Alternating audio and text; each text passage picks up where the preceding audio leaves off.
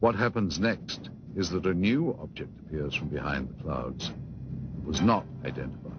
The new object suddenly descends and disappears into the clouds. Once again, here is the American plane at the same altitude as the main. And now here is the object as it appears behind the F-16. And here it emerges from behind the F-16, then goes down and enters the cloud bank.